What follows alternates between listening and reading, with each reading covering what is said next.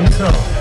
Wszystkiego najlepszego. Darek Kozakiewicz, Piotr Szkuderski, Piotr Urbanek, Jacek Zachlewski, Technika, Kostycy. Wszyscy, którzy dzisiaj pracowali na tej scenie.